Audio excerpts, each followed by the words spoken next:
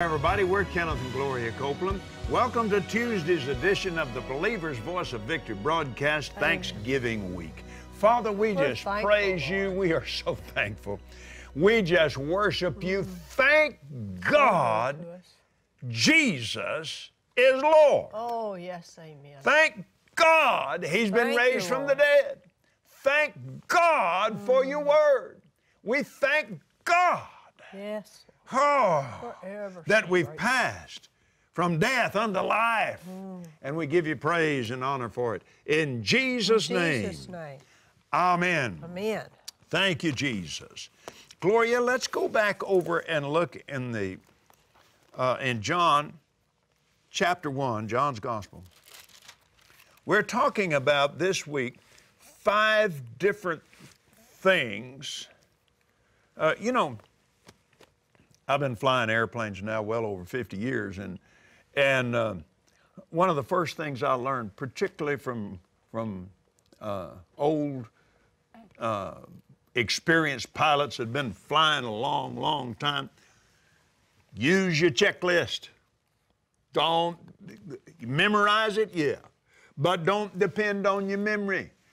Keep that checklist in your hand and you see to it every time you fly that airplane. You're never in too much of a hurry to, to skip that checklist. You check because as you check those off, the, eh, the next one depends on the first one. You do this, now you're ready to do that. You do that one, now you're ready to do this, and so forth. Now, as when you get down to the end of the checklist, you have gone through everything that it took to power up the the system, everything it took to start it, everything it took to to uh, prepare it for takeoff. Each step provides for the next one. And when you get done and you get ready to put the power up on that thing, I'm, I'm sitting thinking right now about a situation where a crew put the power up, and when they got the voice recorders back, the guy had, had called out flaps for takeoff. The co pilot answered flaps for takeoff, but he never moved the handle. He just he answered it, and uh, he's going through the checklist, and he probably touched it, but he was not paying attention to what he was doing. Now, when he took off, they couldn't figure out how come the airplane wasn't ready to fly. They were in bad weather. And, and it, it finally mushed and mushed and mushed around, mushed around, and crashed in a river, uh, an ice frozen river, right off the end of the airport out there. And it, it was a horrible deal. Well, what was the matter? The checklist would have taken care of him there if he'd just taken the time just to, just to make certain you do everything. That's when, That's a, right. when, when, and I, uh, that's the way I use these steps and points in my own life. That something begins to get out of shape here, and I'm thinking, what? I mean, I. What is it I haven't done? You never go to God and say, "How come you didn't do this?" Now, how, are you kidding me? He's already done it. It's already been done by Him. For instance, your words are equivalent to on the checklist wheels down and locked. Well, yeah, sure, it's part of it. yeah. And just because you thought you did it isn't good enough, you come in there and you, you flare out and back, and all of a sudden you hear this Boom, bad scraping sound. You, you know you missed something on the That's right. checklist. And so we don't do that. you don't want to do that. Now, and and I and at times I I'd be praying and and and uh, and meditating on these things, and, and there's been times I just see that list right there come up before me. Ah. Yeah, of course. How did I let that slip? Yeah. So, put the Word of God first place in your life. That is step one. In the beginning was the Word, the Word was with God, the Word was God. That's John chapter 1, verse 1. In the beginning was God, in the beginning was the Word, the Word was with God, and the Word was God, the same as in the beginning with God. If you have the Word of God, you have God. And the Word, God, love, light. He's all of these things. And the, the top of the list of these things, according to the Bible, is His Word. Amen. Amen. So put that first. Now, number two, earnestly pray, thy will be done. Earnestly. Well, yeah, but whoa, whoa, brother Copeland. I mean, whoa, man. I mean, what? what quit, quit, quit backing up. Remember, put the Word of God first place. Now, you say yes to the Word before you understand uh, anything about it. But you, you never will understand it unless you put it first. You put Him first. Then, as you, you begin to learn, faith cometh by hearing, hearing by the Word of God, and He'll teach you That's how to right. put it in motion, like staying out of debt or, or uh, other things that the Word says you don't think you can do. Had no idea I could do it. Knew good and well I couldn't do it. Well, that's right. I couldn't do it. I was, all, I was right all the time. But I found out it was His will to do it, His plan. You could pray this Thy plan be done on earth as it is in heaven. Has anybody got a bunch of problems in heaven? Is anybody no. earning their living in heaven? Mm. Is it, no, not at all. So the plan of God is perfect. It is the perfect place to be. Let me read you something here from, um, oh, let's, let's see, um, 1 Corinthians 12, the uh, 18th verse. But now hath God set the members, every one of them, in the body as it has pleased Him. He's got a plan for everybody. He has a plan for the situation you're in right now. And as we pray, see, I, all I did was agree with Jesus. Now, I want to look back over here now at the book of Luke, at the, in the 22nd chapter, there, there is an outstanding revelation here. So listen carefully. Very simple, but it has been twisted and altered enough by religion and carnal thinking to get it to a place where Jesus said, Your traditions make the Word of God no effect. So you can get it over here where you think you're praying this, and all the time you're, you're, you're literally condemning your faith because it produces fear.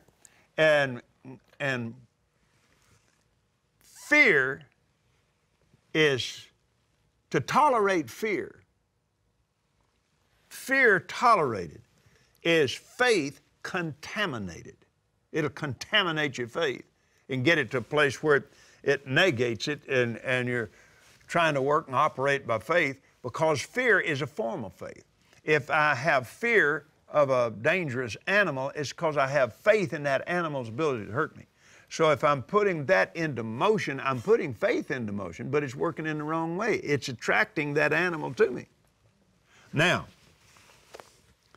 in the um, Gospel of Luke, 22nd chapter here, 42nd verse, Jesus is praying. Now listen to what he said. Father, if thou be willing, remove this cup from me. Nevertheless, not my will, but thine be done. Now remember, he in praying, he said, Thy will be done on earth as it is in heaven. Your plan be done on earth as it is in heaven. If it be, if it be your plan Remove this cup from me. Nevertheless, not my plan, but your plan be done. Amen. Now, people in thinking they are uh, doing the same thing will say, Oh God, heal me if it be your will. You don't know.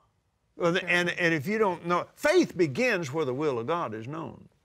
I heard a uh, fellow on television one time, it's supposed to be uh, news commentary. And, and he, he made this statement. um, I don't even remember now what he was talking about, but, but, he, but this I remember. He said, Who could ever know the will of God? I hollered at him. I said, I do. And the scripture says very plainly, we are supposed to know the will of God. I'm telling you, you start right here. That's right. This is the will of God manifested for us in the earth. How do I know that? Folks, let me tell you something. This book is just as much a manifestation of God as the Holy Spirit, the gifts of the Spirit, the healing power of God, uh, the Supernatural. The, it's supernatural. The creation, why? In the beginning was the Word, the Word was with God, and the Word was God. This is a manifestation of God. So now I take this and I say, Lord, show me your will in this. And then I find out that it is the will of God for all men for all time to be healed. I didn't find that out from religion. I never would have found it out there. But when I studied all of the healing scriptures in the New Testament, studied all of the miracles of Jesus, and then took all of those situations and then went back to the old covenant, covenant key word here, and, and God said all over the old covenant, uh, I'm he that heals you. I will heal you. I'm not the one that cursed you, I'll heal you. So, and I realized He sent His Word and it healed them. If you have the Word, you have God. If you have the Word, you have the will of God. You have the plan of God. Amen. And I began to say this many years ago I have no will but your will. It is my will to be one with your will. You don't, you, you don't, oh, my will must be destroyed. My will, no, no, no, no, no, no, no, no, no, no, no, no. That is absolutely religiously 180 degrees wrong. I don't, my will, I've heard people say, well, my will must crumble. No, no, you don't need a crumbled will. No. We've been born again in the New Testament. We have the mind of Christ. We have the will of God in His Word. No, I don't need my will to crumble. I need to subject it to Him. My will is stronger than it has ever been. Amen. My soul is made Yes. up of my mind, my will, and my emotions. It is stronger than it has ever been in 75 years. But my will is strong to obey His will at all times. And when my will tries to get out of line here, no, you don't do that. You just subject it to the will of God. You yield, like that yield sign we were talking about on yesterday's broadcast. You yield to that. Yield to His plan, His amen. will, realizing His plan is better. He's not doing this to punish you. No, no, no. He's, he's not out to punish you. He is out to bless you. He's out to get you in your laughing place. He's out to get you healed. He is out to prosper you in every way spirit, soul, body, financially, socially, ev- every way. He is out, out to bring heaven on earth to you. Amen. The blessing of the Lord. Thy plan be done, your will be done. Jesus said, not my plan, but your plan. That's totally different than if it be your will. If is a badge of unbelief. Faith begins where the will is known. So seek the word. Faith cometh by hearing, hearing by the word of God. Now then, Gloria, let's go to Jeremiah 29.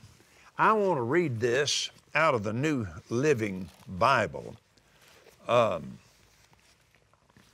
in the uh, King James authorized version, the 11th verse says, I know the thoughts that I think toward you, saith the Lord, thoughts of peace and not of evil, to give you an expected end. Then you shall call upon me and go and pray unto me, and I'll listen to you. Wow. That's it. Jesus said, Seek ye first the kingdom of God and his righteousness, all these things be added to you. Amen. All right, now listen, listen to this in the New Living.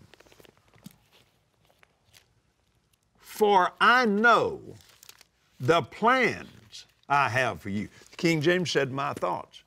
So every God don't just think a whole bunch of thoughts and, and pick a few. No, His thoughts are higher than our thoughts. His ways are higher than our ways. When the scripture says wealth and riches shall be in your house, like in the 112th Psalm, his idea of wealth and riches is a whole lot different than yours and mine. For my word goes forth out of my mouth into the thing, and it will prosper in the thing where I, whereunto I sent it. I remember uh, what Bill Winston told about the man that was doing business back in the days in the 60s and 70s when doing business with Arabs was a, a big thing. And um, he had done well in, in business for this, uh, this Arab. And so the, the man's assistant came to him and said, uh, the sheik would like to bless you some way or another because of. He said, "Well, you don't need to do that." He said, "No, no, no. Now you turn him down. It's an insult. You don't. You don't want to do that." He said, "Okay. So what would you like to have?" He said, "Oh, oh well, just just have him give me a golf club. That'd be all right." You know, he's thinking about a nine iron or a driver. When people give gifts, they usually give some some special driver, some mm-hmm. custom made driver with a special shank and you know all that. And went on about his business, came back to the United States, and and um, he got a call then several weeks later, and said, um, "We would like to meet with you and take you to your golf club." What? Yeah, your golf club. What golf club? Well, your request was for a golf club. He bought him a country club. It was an 18 hole, fabulous, marvelous thing. But see, his idea of a golf club is totally different from what this man's idea. Now, this man that's, that's doing the thinking about the golf club has got billions of dollars. This man thinking about the driver hadn't, doesn't have much compared to him. Yeah, he may be right. doing all right. He may have a couple of hundred thousand. He ain't gonna buy a country club with no hundred thousand dollars. But when that man heard golf club, he didn't think about something to swing with. He thought something about for everybody to come play on. That's the way God, that's His ways are that far higher. His yeah. plans are that much Amen. higher than our plans and our ways. His way works, our way stumbles. He's righteous. That's what righteous means. It works right. Yeah, yeah. When he said, let there be light, it went. Yeah. When we say, let there be light, we just thinking about one room. If you can find the switch. if you can find the switch. But, yeah, I mean, he, he's thinking about universes. We're thinking about light switches. That's, that's, that's true. that is an excellent illustration. Now, let me go back here now. Now listen to this. Instead of saying thoughts, listen to what this translated, which is more closely to the Hebrew text. I know the plans I have for you, saith the Lord. They are plans for good and not for disaster, to give you a future and a hope. In those days when you pray, I will listen. If you look for me wholeheartedly, you will find me. I'll be found of you. I will end your captivity and restore your fortunes I'll gather yes, you out of the nations where I sent you and will bring you home again to your own land. Praise God. Now, if it's God's will to restore your fortune, it was His will for you to have a fortune start with. Amen. That's right. That's the way He thinks. He's not talking about you being able to pay your rent, He's talking about you having a fortune. What, why is it called a fortune? Because you're fortunate. What does that mean? You got more than enough in any situation, any time. Oh, Brother Copeland. Well, now, wait a minute. Put your gun up till I finish here. Don't start shooting at me because you religious unbelief. He is able, the scripture says, 2 Corinthians chapter 9, to make all grace abound yeah. towards you. Why? So that you always having all sufficiency in all things may abound Hallelujah. to every good work. Amen. That's his plan. Isn't that great? He doesn't have any other plan for you. Now, let me, let me go back over here, Gloria. There, there's something else here that gives you the freedom and the thrill without fear to pray, Your planning will be done in my life. Amen. Listen to this. I know the plans I have for you, saith the Lord. They're plans for good and not for disaster. I'm, I'm not planning to blow your house away in a hurricane to teach you something. I'm not planning to flood you out. I'm not planning to put cancer on you. I'm not planning none of this. I am planning good Yeah, to give you a it. future and a hope. In those days when you pray, I'll listen. If you look for me wholeheartedly, you will find me. Praise God. You can know my will. Yes. Now, in closing here today, let's read from Revelation. Ah, Revelation. Let's read from Romans. Both of them start with an R, don't they? They do. In the 12th chapter, Romans 12. Notice this now. I beseech you, therefore, brethren, by the mercies of God. By what? Mercies. By the correction, damnation, heart, and no, by the mercies of God. You present your bodies a living sacrifice, holy. He didn't say you have to make your body holy before you present it. He said, I call it holy, present it to me. Acceptable, I will accept it, which is your reasonable service, and, and, and be not conformed to this world, but be ye transformed by the renewing of your mind, that you may prove what is that good and acceptable and perfect will or plan of God. Amen. Amen. Prove it. Other translations said that you know and fulfill His perfect plan. His plan is good. His plan is Awesome. out there. Praise God. Hallelujah. So, earnest, this is step two now. Number one, put the Word of God final authority in your life. Number two, earnestly pray. Your will, your plan be done in my life. I am yours to command. I'll say what I hear you say. I'll do what I see you do. Gloria and I'll be back in just a moment.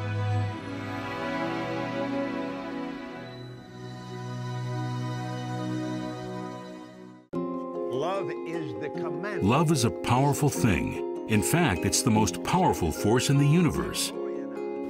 The Yield to Love CD set by Kenneth and Gloria Copeland will help you grasp this understanding. These things right Discover how great God's love toward you is and how motivated He is to bless you. manifested because of being born of God and knowing Him.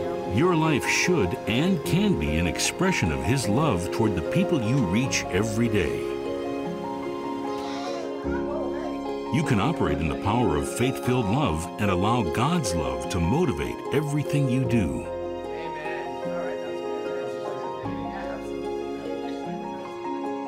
Yield to that love and let it lead you every step of your life. See where God's love takes you.